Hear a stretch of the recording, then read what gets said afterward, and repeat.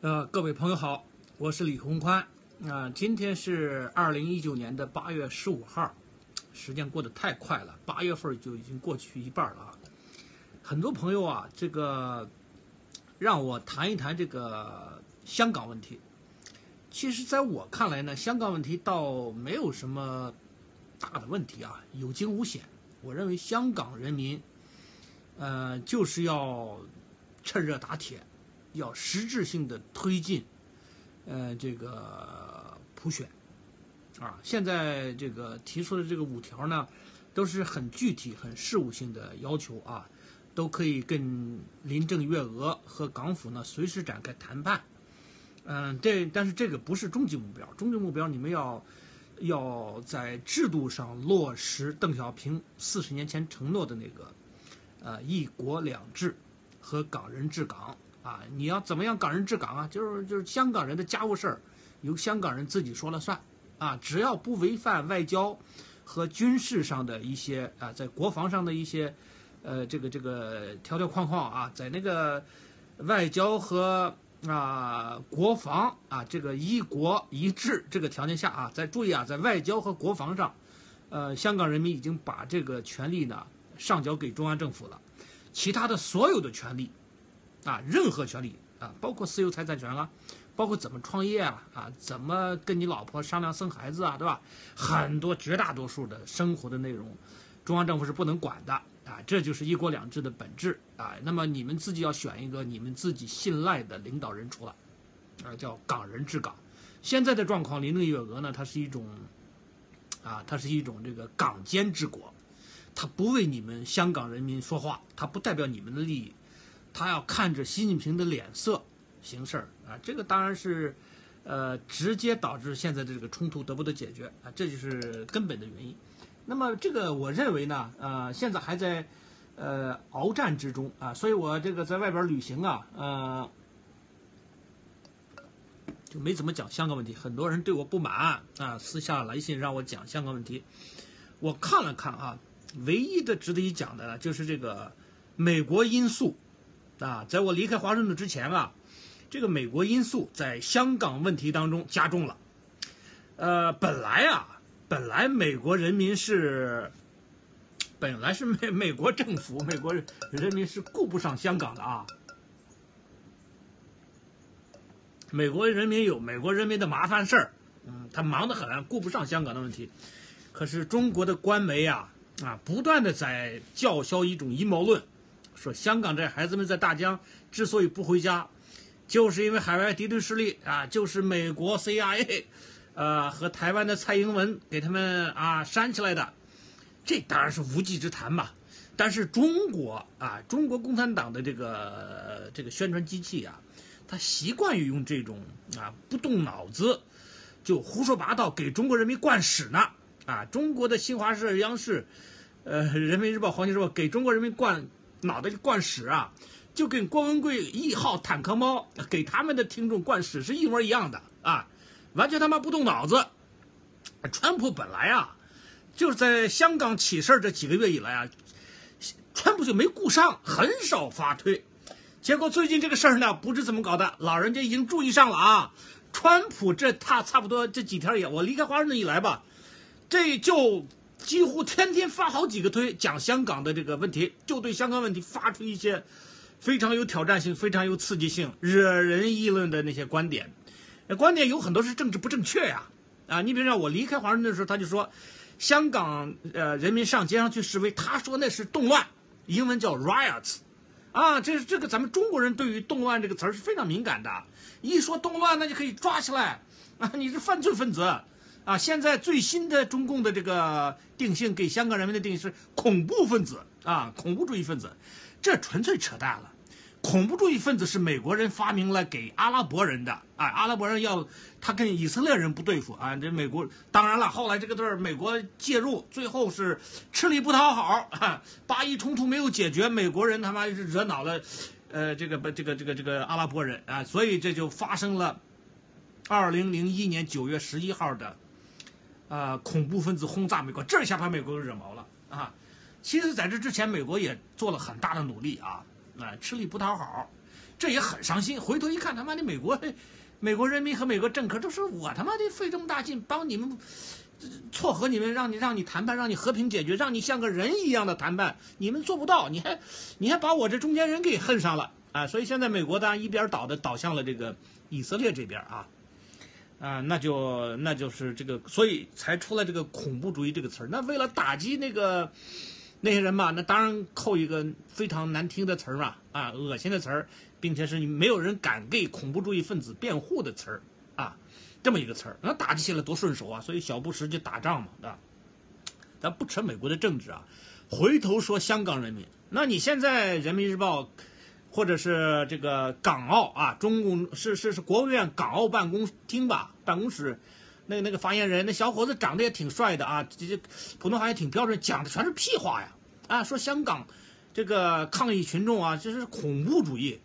这他妈完全扯淡，有什么恐怖啊啊？香港人民还是挺安静的啊，没有说无辜打人，无无辜把你家的房子给你炸了，把无辜人民给炸死，哪有这样的事儿啊？这不是扯淡吗？当然了。中共想要想污蔑一个人啊，要想打击一个人的话呢，他这个用词是极其考究，他认真考，认真琢磨出来的。这就是给美国给川普量身定做啊！他一说我要打击恐怖主义分子，你川普你怎么说啊？你能反对我打击恐怖主义分子吗？所以他是想这么弄啊。这条路，这条路在今天啊，互联网革命时代绝对走不通啊！那还有这么多明白人呢。我跟你讲啊，我这几天在外旅游啊，我见人就问一些我感兴趣的问题。美国人民啊不傻，美国人民绝大多数人民发现川普总统说错了话、办错了事，立即就反对他，没有任何问题啊。所以说他这个作为一个总统呢，他有当然有言论自由啊。川普可能是历任总统当中说话最随意的，他他妈想想说什么就说什么啊，他用词不考究啊，他就是他他就表现这种粗放的一种风格，这是他的执政风格，他就是靠这一招赢了这个总统大选。那么他在竞选当中有效，他认为在执政当中也有效啊。其实这个东西呢，是不是真的有效，还真得做个实验。我们科学家讲究说话。要要有证据说话。那么在社会科学领域，假如说香港这个事儿，川普说他们是动乱，如果习近平是个二杆子，真以为是哦，美国总统都说香港是动乱了，那就是一九八九年三十年前邓小平就是因为《人民日报》四二六社论给北京学生扣了一个动乱的帽子，就导致六四镇压，我也六四镇压，我也血洗香港，我派野战野战部队到香港街头，那不完蛋了吗？那习近平绝对成为。历史的罪人的啊，那就跟邓小平齐名了，邓小平第二了，那就是在香港重演六四。我相信习近平不敢，习近平周围的那些利益集团也不允许他这么做。那些人会算账啊，你习近平是个二杆子，你不会算账对吧？习近平也未必不会算账啊，这个。你所以我认为啊，这是个伪命题。说什么香港戒严啊？光棍这狗操的！八月一号造谣说香港要戒严，八月四号要戒严，结果怎么着啊？十几天过去了也还没戒严嘛。现在这个状态是焦灼状态，共产党呢在用一些传统流氓的做法。注意啊，两百年以前的流老流氓就这么干，试图想办法嘛，通过派自己的人去假装抗议人士，然后呢打无辜群众，然后一撤身。拍一些照，装电视一播，你看看，香港都是暴徒啊，都是恐怖主义分子啊。他用这种办法，这个办法呢，过去啊，这些流氓啊，像希特勒呀，包括日本人也这么干过啊。呃，中国呢政政政治斗争就就就更用的就更多了啊。这个在过去行之有效，今天嗯根本走不通啊。今天最新揭露的就是一个。叫傅什么来着？那那那那个那家伙，就是说号称是他自称是啊傅浩志还是什么的，自称是《环球时报》的一个记者，但是呢到香港去采访，按照国际行规，你一个记者你可以到战场上到运动中去采访，但是你要挂一个记者证，啊，告诉所有人我是记者，你应该给我提供方便，嗯，这个是行规。这老兄记者证揣在怀里，谁也不知道他干什么的，说的话都是挑衅性的啊，都是那种刺激性的，最后被人家抓出来了，查出来是特务。环球时报》《人民日报》的记者，尤其是派外的记者，百分之百是国安部的人，知道吗？他有两个身份，那他有的是他《人民日报》这《环球时报》办公室从来见不得他上班，他在安全部上班，你知道吗？啊，这个这个老兄就这就是这么一个身份。香港那个地方啊，这个斗争的双方有太多的特务了，那是个特务窝啊。那我这个特中共自己有各条战线上的特务啊，有的特务是宣传战线上的，有的特务是军情的，有的特务是他妈的，呃，中国人民对外有协的，有的特务是他妈的这个这个啊，国安部的、国保的，各个省里还有特务，那特务多得很，很多特务是支持学生的，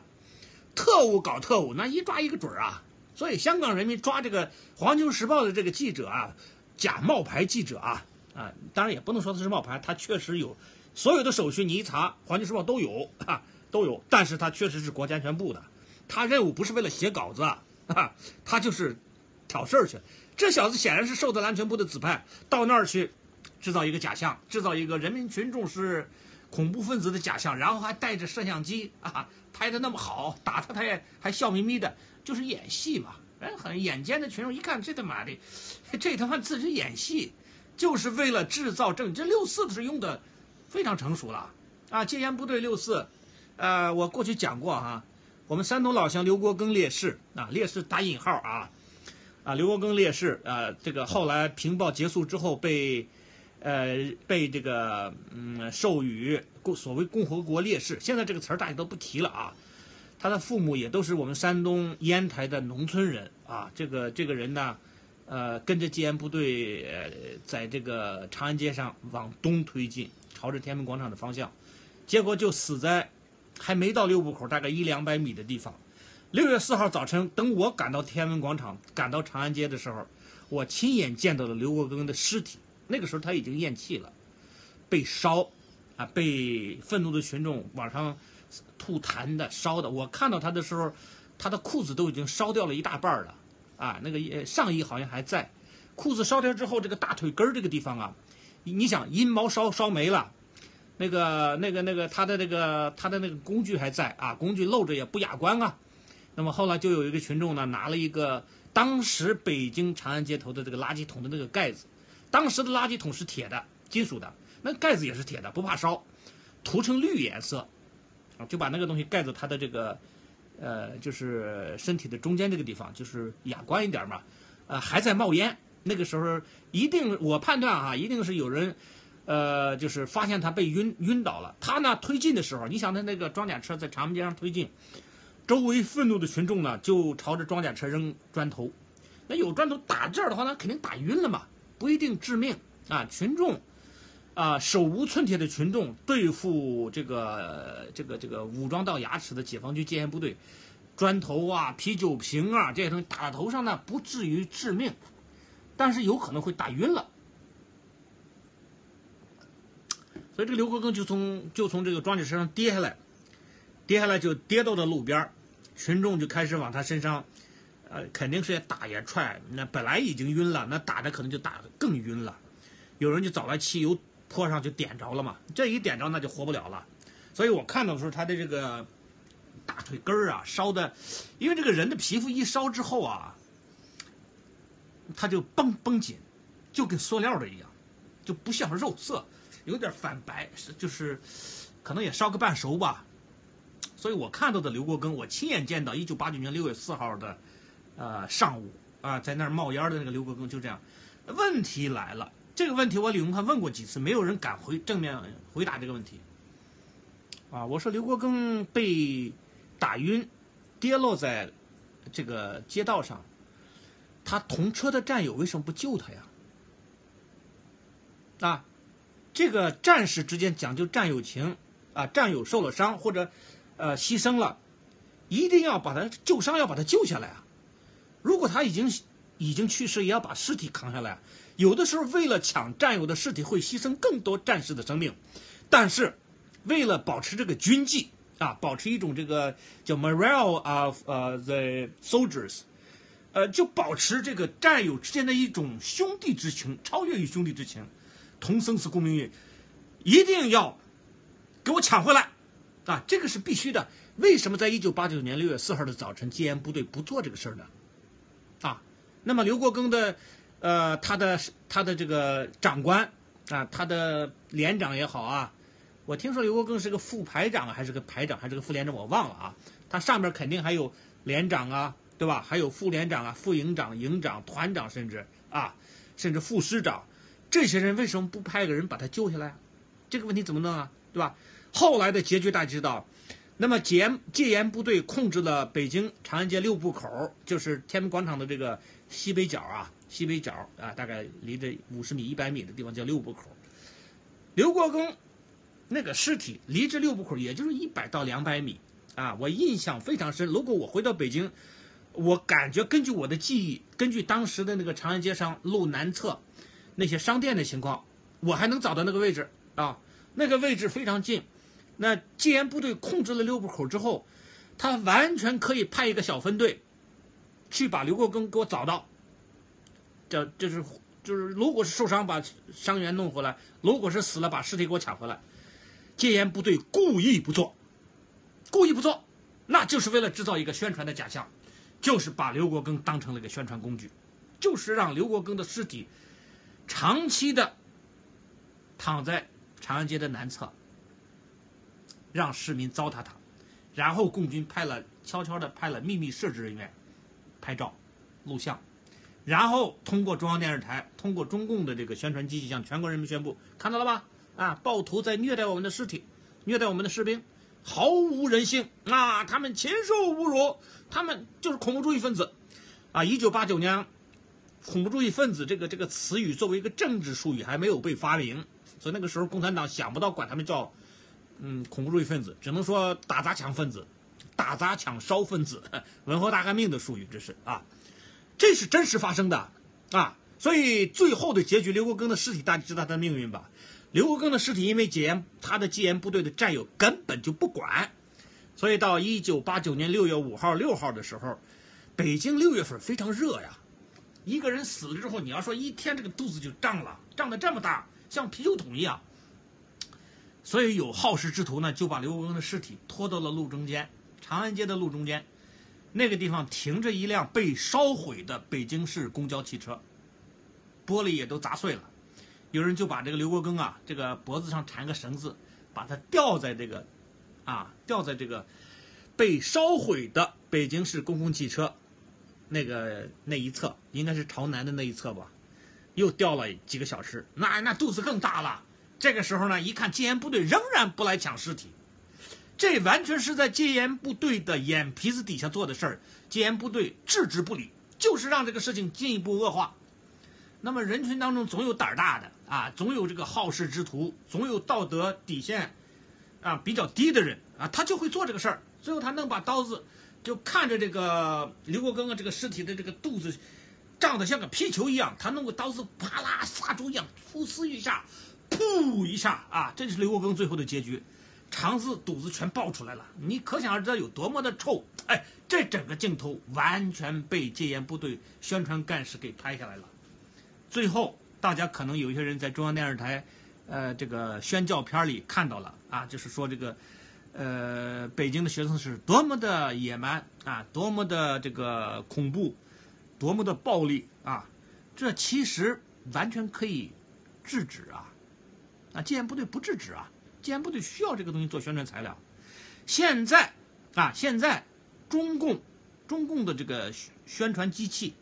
包括网上这些五毛啊，啊，包括一号坦克帽也都在干这个活儿，就是想办法朝着这个方面去塑造啊，说香港这些抗议的学生呢，哎，都是暴徒，都是什么恐怖分子。现在还有一个新词儿，叫什么来着？啊，类似。渣子这么个意思吧，啊，反正就说没有一个好词儿啊，就给人扣在这个大帽子扣在这香港年轻人的头上了，啊，就开始攻击啊，攻击这个名词儿。其实他攻击的那个名词儿那个概念和真正在大街上你看到的香港人完全对不上号。我们看到的香港人是高度文明的，我都我们都看到了这个呃一个一个一个医护人员去为了救别人，一个非常漂亮的一个年轻女士。为了救别人，自己的眼睛被那个沙袋弹打中，眼球打爆裂，这个人可能就瞎了一只眼，啊，就是就这个眼就是就就给警察给给打，我们都看到了啊，这都看到了。还有那个年轻人被这个警察摁到地上啊，牙齿都碰掉了啊，呃，这个都是和平理性、非常理智的青年。我们看到了这个年轻人，大概就是中学生吧，举着牌子啊，中英文都写着“对不起”，就是在这个占领机场的过程中给乘客造成了不便，实在实在对不起啊！我们现在是搞这个叫 “civil disability” 呃，disobedience，就是是一种。啊，文明的啊，这个不合作运动啊，这个之所以这么做呢，是因为香港病了，Hong Kong is sick，香港有病，我们试图想办法呢，唤醒世人的注意，帮助我们把香港治好，啊，就是在那儿道歉，鞠这个躬，这个非常文明啊，能够能够将心比心，知道自己做的这个事情，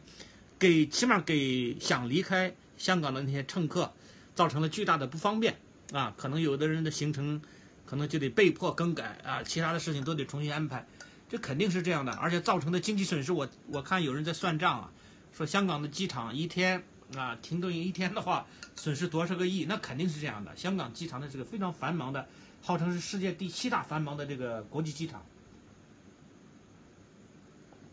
当然是这样啊。但是学生在道歉的时候。香港的最高领导人干嘛呢？林郑月娥在干什么呀？林郑月娥，你做了什么努力呀？你没做嘛，对吧？真正需来需要出来道歉的是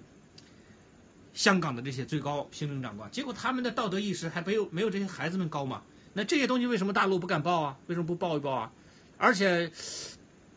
中共这个宣传机器呢，它都是一个这个双刃剑啊啊，它能够呃忽悠一些人呢。啊，另一些人就可以上来说，所以现在听说大陆有些人要求说，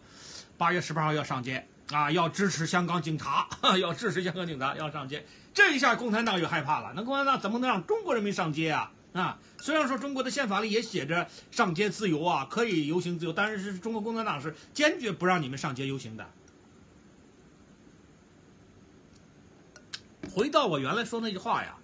香港现在。香港香港的这个人民听了李鸿宽的说教，我认为应该趁热打铁，千万不能停下来，千万不能够误信了胡平啊这些人的这种迂腐之论，什么见好就收，哪有好啊啊！现在呢，从中央的这个对策来看呢，中央是没有决心、没有毅力、没有这个胆量，要这个军管的戒严不可能啊，说这个派野战部队。上北上这个香港街头啊，不可能啊！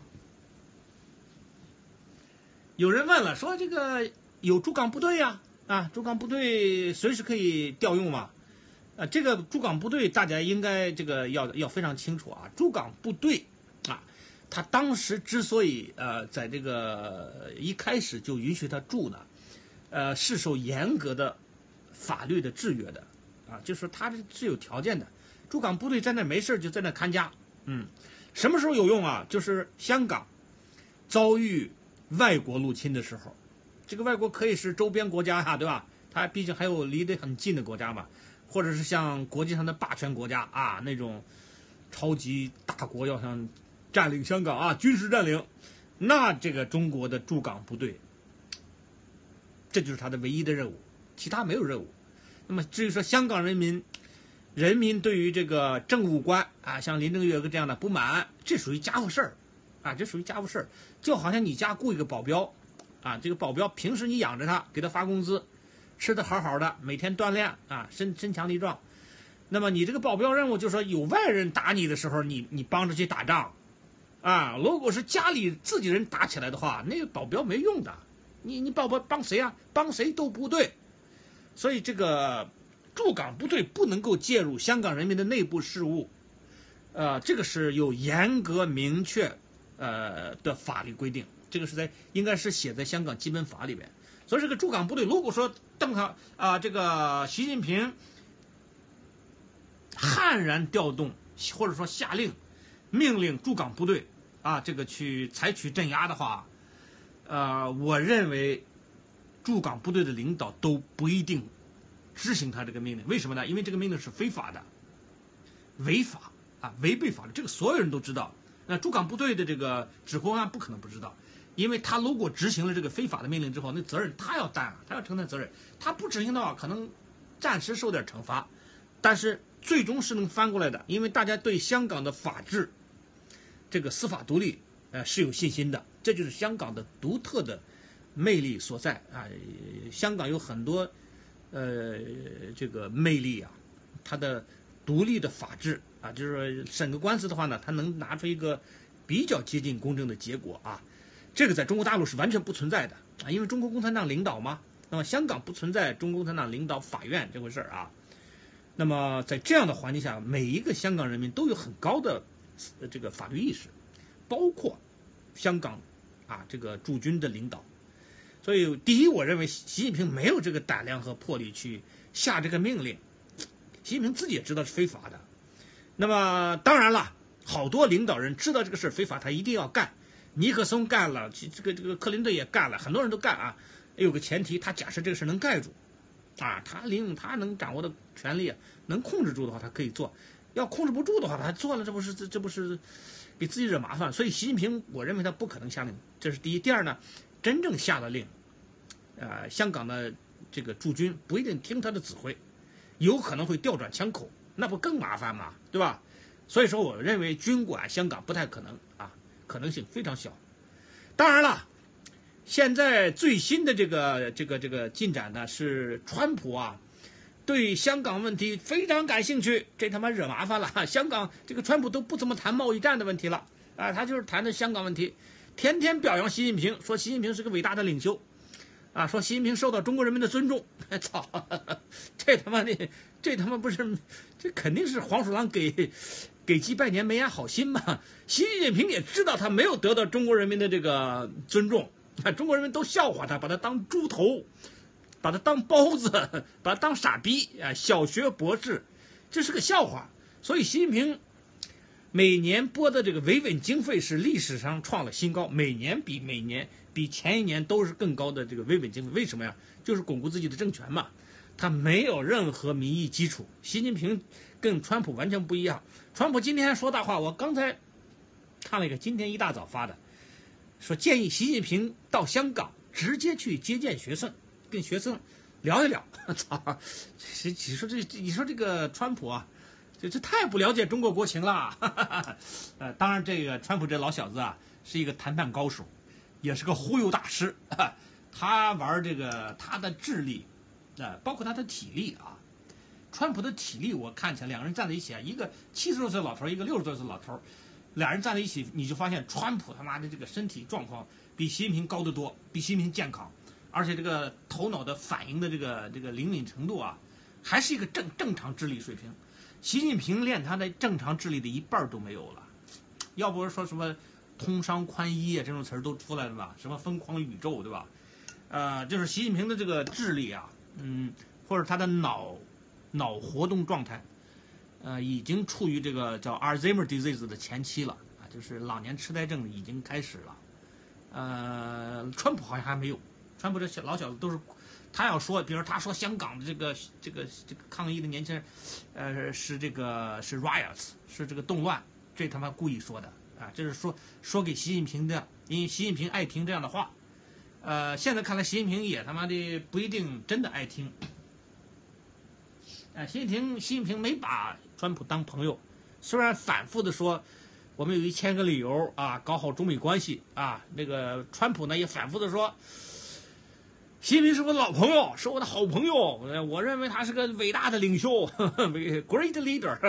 受到中国人民的这个呃这个高度的这个尊敬，尊敬个屁啊啊！但是习习近平在内心里边对于川普讲的话，他一定是从反着理解。哎，所以这个呢，呃，川普想在这个香港问题上呢，啊，施加点影响啊，呃，其实在中国的政治正确里边，这个是无路可走的，因为习近平的标准话语就说，不管怎么说，香港人民啊对林郑月娥女士不满啊，是我们的家务事儿，是我们中国的内政，啊，你川普老小子，你算什么呀？啊，你算什么呀？你凭什么议论？这是政治正确，习近平只能这么说。习近平不可能说：“哎呀，川普啊，你来一趟，帮帮我一个忙，咱俩到香港找个地儿啊，一块儿跟你斡旋啊，我跟香港的人民谈一谈，那怎么可能呢？这不是共产党的思维方式啊！倒过来，一个民主国家是可以做到这一步的，或者说是一个皇权国家。如果是咱们中国现在是，呃，中华习近平帝国，那可以。习近平一声令下，嗯，老子精力不够了，情况太复杂了，我请川普来做个见证人，呃，请香港的这个年轻人，你们派个代表。你选几个代表了？我谈一谈啊，谈咱们这个会议记录呢，呃，公布向世界公布，请川普总统做一个见证人，做第三方，他可以不发言，但是呢，他要见证我习近平啊，作为中国的皇帝和香港的臣民之间的这个对话啊，如果咱们能谈出点什么结果的话呢，这个结果要向全世界人民公布，以正视听。皇权国家是可以的，在共产党国家没有这个先例啊，共产党国家呢，他老说。啊，这是我们的内政啊，我们的内政就是我们关起门打孩子和你没关系，啊，这共产党一贯如此啊，所所以，呃，这个没有没有什么悬念啊。所以我认为呢，香港啊有惊无险，香港人民呢一定要趁热打铁，继续往前推进啊。现在啊，光这个街头的年轻人呢，他们做出的牺牲已经非常大了，可歌可泣。他们坚持的这么多天，在这么热的气候之下，呃，他们所忍受的这种身体上的这种折磨呀，已经远远超出了三十年前，啊，在那个春夏之交、舒舒服服的那个天气里边所发生的北京一九八九年的学潮，远远超出了他们啊，所以他们是呃走在了中华民族前进的前沿啊，我们每一个中国大陆人应该想尽一切办法。呃，创造性的去帮助他们，啊，这是我们必须做的，出于本能的道义吧。香港也许是突破共产党专制统治的一个一个，就像一个突突破口一样，我们都要想办法去帮助他，要认识到这一点。啊，这个呃，也也可能是啊，我我总结了两句话嘛，第一句话就说。啊，香港人民现在争取的，就是四十年前邓小平亲口承诺的东西，呃，一点也不多，一点也不少啊。那些五毛傻逼呢？这四十年中长大的傻逼，吃着共产党的这个宣传的屎尿长大的这些孩子们呢，狗屁不懂，他不知道邓小平承诺的那个“一国两制，港人治港”啊，五十年不变，五十年之后不需要变，这四句话的意思。啊，这四句话，按说邓小平作为一个受教育程度不高的人，他能讲出来，没有任何歧义。啊，后来这些共产党为屎灌出来的这些小粉红，这些傻逼年轻人，现在的啊，故意搅浑水，那就是良心大大的坏了啊！这这些活该他们在中国吃地沟油，活该他们的下一代打那个假疫苗啊！这没办法，你知道吗？上帝都救不了你们。啊，你你们已经吃共产党的这个地沟油啊，这个你上瘾了啊，那没办法啊。香港人民不愿意啊，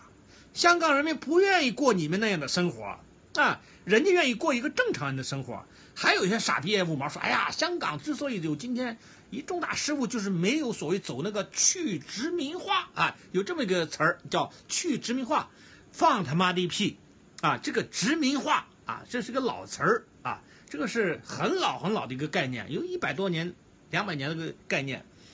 这个殖民化这件事儿，啊，走到一九六十年代的时候，英国早就洗心革面、立地成佛了，啊，就是英国后来就是管香港这个事儿，做了很多善事儿，啊，培养了现在香港这些年轻人的父母、他们的爷爷，啊，他们的父母、他们的爷爷，很多人发自内心的觉得英国这个制度好。啊，我们他妈的更认同这个东西。我们是没有机会，有机会我们拿个英国护照，干脆去英国住吧。啊，这个今天啊，从六十年代一转眼五十多年过去了，还在讲，还在把这个殖民化当成一个坏词儿来讲，这是脱离了时空了。正确的说法，换一个说法啊，同样是这个事儿，实际上就是英国人在这统治了，殖民统治了这一百多年，给香港人民留下了普世价值。这是全世界各国争先恐后要自己流血流泪去争取的东西，香港人得来全不费功夫，当然是这一代年轻人他们的先辈呀，享受了这个普世价值的呃统治，啊，统治这个词儿也不太好啊，就是一种其实是一种全民共约。那香港是一个高度文明的地方啊，这个是我们到今天在中国想推广民主化，首先要有普世价值的共识。你不能让官贵这样的狗操的一个臭流氓来统治我们啊，对吧？你不能让共产党这些他妈的操纵舆论、天天撒谎的人来进一步愚弄我们的下一代呀！这必须要结束啊！这个这个状态。那个共产党的这些呃歪门邪道弄的这些忽悠人啊，就是骗这些呃这个这个嗯小粉红下一代中国大陆的这些吃屎的这些人啊。也慢慢的啊走到头了。我认为啊，从现在这个被揭穿的这个速度来看啊，呃，共产党要想指望控制舆论，把中国人民都弄成傻逼愚民，然后突然啊用军事的手段解决香港问题，甚至指望将来要解决台湾问题，这是痴心妄想啊！这个绝对行不通啊！呃，直到有一天。嗯，共产党当然不会不到黄河不死心，他一定会试，直到有一天中国大陆人足够的人数觉醒了，起来反抗，揭竿起义，推翻共产党，把共产党的高铁给他炸了，把共产党的他妈的电缆给他砍断，把共产党的这个监视的那个器全给他砸烂了，啊，全民暴动，占领各地的公安局，啊，占领各地的收费站，占领各地的地方政府，然后宣布脱离中央政府。啊，然后呼吁全国召开立宪会议，请咱们中国民间的高人，懂懂这个普世价值的，啊，懂这个美式啊宪法的啊，懂这个香港法治的人坐下来，给中国人搞一套全新的宪法啊，帮中国走上一条啊宪政民主的道路。我相信这一天随时会来到，啊，就看你还能忍多久。现在反正川普这个贸易战，再加上这个金融战、货币战，中国的经济绝对不会有好果子吃啊！至于说能不能把房市给拖垮啊，让让那些房奴啊 叫天天不灵，叫地啊叫天天不应，叫地地不灵的时候再反抗，不知道啊。反正中国人民的忍耐度是比较大的啊，嗯，当然也也不好说啊。一般来讲是说中国人民的忍耐度也很大。但是我昨天看了一个视频，北京有一个开劳斯莱斯的一个女女士啊，啊，好像也挺漂亮的，姓单啊。后来后来说叫姓单，那个女的是开这个豪车，非要占着那个一个医院的一个一个紧急通道，那个地方那个道儿，她占那个道儿呢是过那个救护车的，谁都不能拦那个道儿，警车都不能拦那个道儿，你得让救命嘛。我操，她就她就拦着了，我操，结果被拍下来做成视频。呃，那个人呢？你想他开那么好的车，他不缺钱啊，他就是脾气暴躁，啊，不是一般人的暴躁，就是脾气极其暴躁，已经接近于精神崩溃状态。我过去在生活当中也碰到过这样的人，啊，我是深深的领教了这个独生子女这一代当中有一些人，啊，这个脾气非常不好，就是非理智，这样的人有一定的比例的话，也容易导致。社会会失序，擦枪走火的可能性会比较大，因为他完全不理智啊，他完全换一句话讲，他完全没有恐惧感，啊，这样的事共产党呢也也他难对付啊，不知道将来用一个什么东西触发了共产党的灭亡，但是我相信这一天随时会来到啊，呃呃，今天是八月十五号，咱们要不先讲到这儿，有问题请大家刷屏。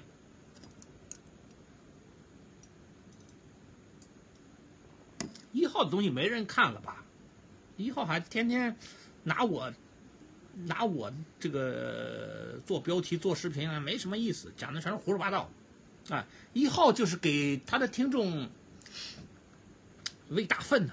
对吧？喂喂喂屎啊！我给你举个小例子吧，比如他老他最前两天啊，我我这个这出游之前，我看他做了个视频，他说郭文贵的律师跟江涛啊会晤。啊，结成了这个大李鸿宽联盟，这他妈的，这在美国啊，在美国基本常识。美国的律师他的最基本道德 number one 就是只能跟你的客户谈你的案子，绝对不可以跟任何其他人谈谈谈这个案子。比如说郭文贵雇了个律师，郭文贵雇这个律师绝无可能百分之零的可能性跟其他人谈这个案子，所以他绝无可能跟江涛见面啊，更更不可能跟江涛讨论任何东西，这是他的基本道德。因为因为因为这个一号这个这这这这老兄呢没在美国生活过，他完全不懂嘛，完全不懂，他就敢胡说八道。这个有美国生活经验的人啊，呃，应该是一眼就看穿。但是现在有一个加拿大人，呃，黄河边啊，高冰晨高度表扬他。有一个德国人啊，与革命烈士不是革命烈士，就是玉罗克的妹妹亲妹妹玉罗锦啊，七十岁老太太了，哎。就是疯狂崇拜这个 这个这一这个一号，这都是在美国之外的人啊，对于美国法律基本常识不懂，狗屁不懂，嗯，但是他们爱吃一号的屎，他们就吃呗。我是懒得搭理这些人了，我该说的都已经说了，该点破的都点破了，他们不听啊，他们觉得一号是他的战友，是他的导师啊哈，那好啊啊，这个这个这个呃玩吧玩吧，哎哎，我们正在举报江涛这个冒领美国。残疾人啊，福利这个事儿啊，很快就就有结果。江涛现在是假冒残疾人啊，在我们马里兰州领福利啊。这个他其实他说是耳聋啊，你看他上赵岩的节目，他耳聋吗？我是在法庭啊，在弗吉尼亚的联邦法庭亲眼见到他旁听夏一良的这个这个庭审啊，他没有他没有带助听器啊，啊，他没有带助听器。江涛只在一个场合带助听器。啊，这个场合大家能猜出来吗？啊，就是他因为跟 Demi 打官司，他只在那个场合带助听器，他向那个法庭请求，法庭呢用残疾人的待遇来来来对待他，就是法庭要，因为一个一个残疾人打官司的话，要要有一些额外的安排啊，他请求了那个，所以说他跟戴米打官司的时候呢，出庭他就是装装样子带个助听器，他其他任何场合都不带助听器。这是不是值得怀疑啊？说明他听力没问题嘛？啊，在美国，你要是能拿到这个残疾人福利，这不得了啊！停车都非常优惠啊！有一个残疾人专专用的停车区，在停车场里，那是最好的位置啊，给他们用。一般人你没有这个残疾人福利呃资格的话，你停那儿，你是罚单很很狠啊，罚的很厉害啊。所以这个这个这个江涛现在啊，还这个我看这个赵岩节目，让他自己在那说他是法庭工作人员。啊，这个希诺也给他，呃，义务做宣传，说江涛是法庭工作人员，完全谎言，完全造假，啊，完全不可，呃，不可信。好，今天呢，啊，咱们先讲到这儿。我是李宏宽，呃，八月十五号，盛夏仍然是盛夏，谢谢大家，我喝酒去了，再见啊。